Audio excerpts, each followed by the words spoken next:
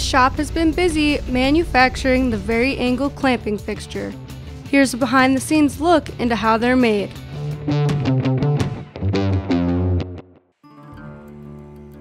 First, the fixtures are laser cut out of sheets of steel in each of the three sizes.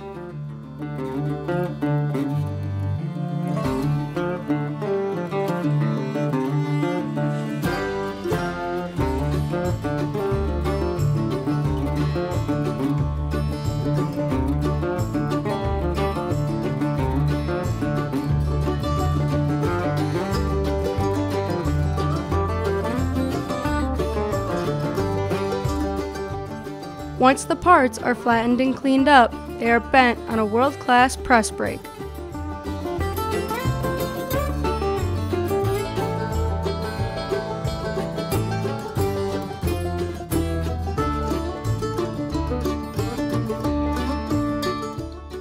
After the fixtures are powder coated, they are delivered to our engraving department where they are laser engraved with logos and scale markings.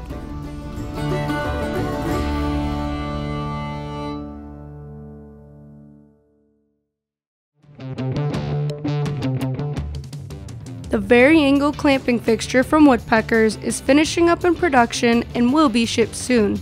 Stay tuned for more production updates.